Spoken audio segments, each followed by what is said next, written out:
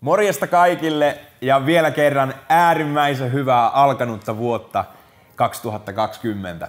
Me ollaan aloitettu tämä vuosi parhaalla mahdollisella tavalla, koska me ollaan yhtenä seurakuntana pysähdytty kuulemaan, mihin Jumala haluaa meitä johdattaa niin yksilöinä kuin yhteisönä tällä vuosikymmenellä. Ja tässä tulee niin mahtava vuosi.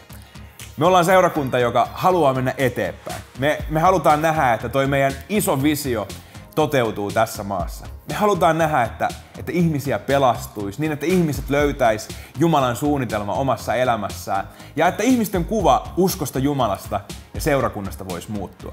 Tätä matkaa me ollaan saatu tehdä jo viisi mahtavaa vuotta yhdessä ja, ja me ollaan nähty niin uskomattomia asioita, eikä me malteta odottaa, mitä Jumalalla on varattuna meille tulevaisuudelle.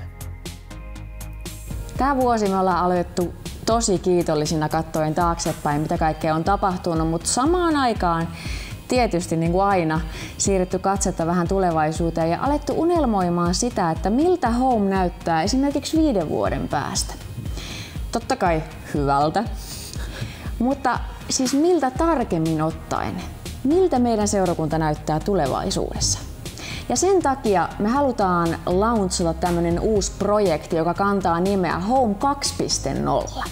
Ja siinä on idea siitä, että me halutaan totta kai ennen kaikkea kysyä Jumalalta, että Jumala, mihin sä haluat viedä meitä. Mutta yhtä lailla me halutaan kysyä jokaiselta teiltä sieltä kameran toiselta puolelta, että mistä te unelmoitte, että minkälaiselta meidän seurakunta näyttää viiden vuoden päästä. Miltä näyttää se entistä parempi tulevaisuuden home, jos te kuvittelette tulevaisuutta miltä me tuoksutaan, miltä me maistutaan, miltä me näytetään, miten me voidaan entistä paremmin tavoittaa meidän kaupunkien ihmisiä?